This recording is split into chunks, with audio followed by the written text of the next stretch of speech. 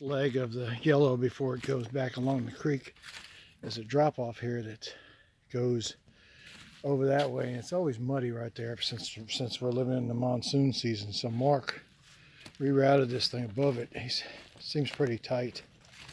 So you'll see the sticks along the edge kind of guiding you around until it gets wore in. But you know, down below it stays like it's been staying like that for months now because of all the rain. So this comes back around here.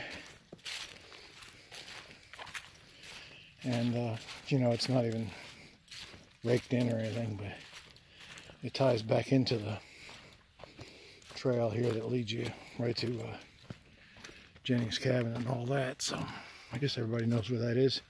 For those of you that like that drop off like me, won't have it for a while.